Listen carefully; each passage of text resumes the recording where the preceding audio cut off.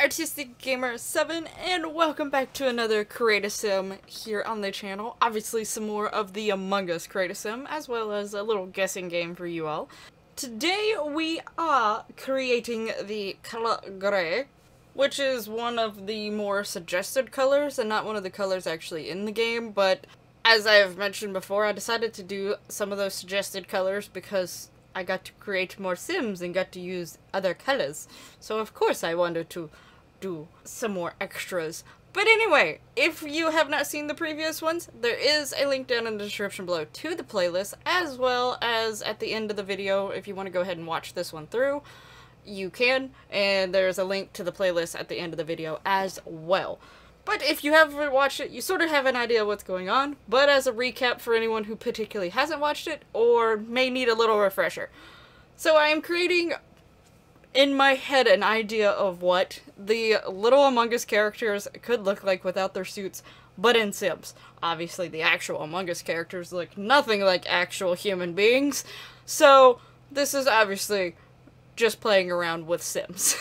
so obviously it's keeping the color of their the like the theme of their color. I said that backwards. um, so you know, gray here is gonna have a lot of gray with her, and orange is gonna have a lot of orange. Red had a lot of red, so on and so forth. But there's also a little guessing game for you all. So basically, I had I had made three will decides, and basically one will decide decided the order of the colors. So it would I'd spin the wheel, it'd land on a color, that was the next color I was making, and I would move it off the list and spin it again. so that decided the order. One wheel decided the gender, whether it was going to be male, female, trans male, or trans female.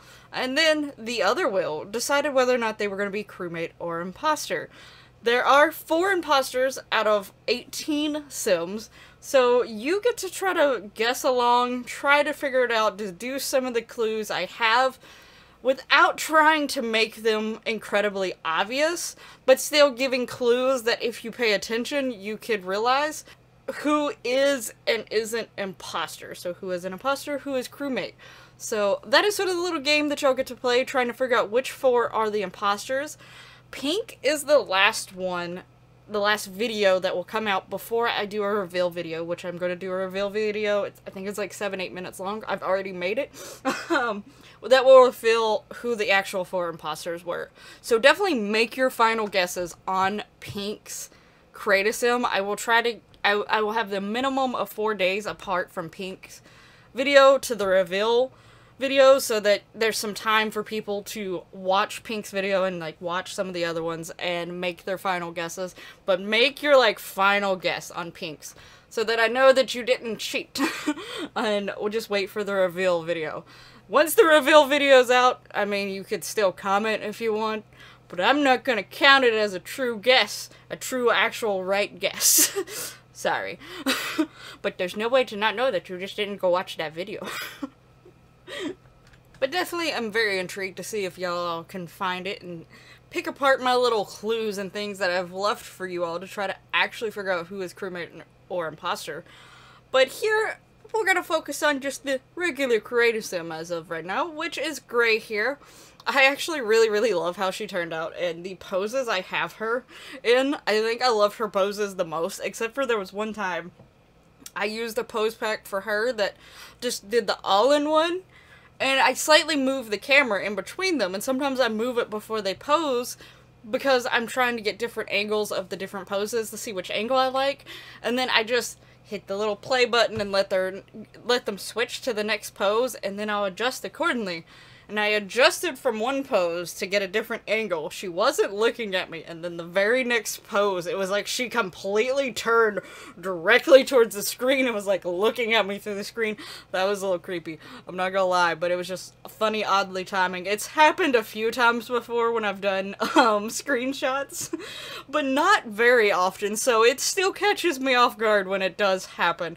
And she was one of them that did it. It had been a while since I had just had them move directly look at me at the screen. So, thanks, thanks, Gray.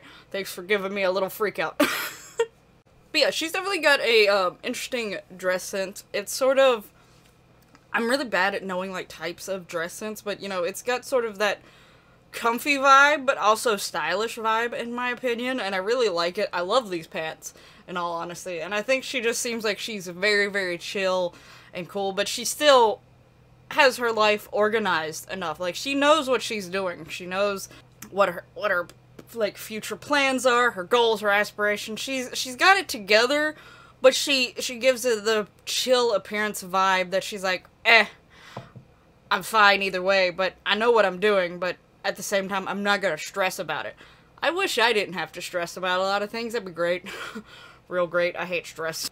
Now I will say the one thing I struggle the most with gray here is because with the color extra colors that I chose, it's from one picture that I've seen floating around a whole lot more than any of the other suggested ones. I've even heard people talk about some of them maybe even originally be suggested by the devs of Among Us. I am not 100% sure this is just what I've seen floating around.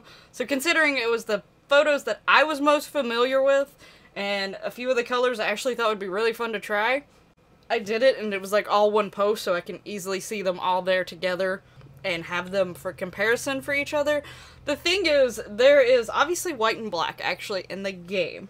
So having gray is fine, because it's like in between. But then there's also silver that they've added in this extra one. so trying to make sure all four of these didn't blend too well together.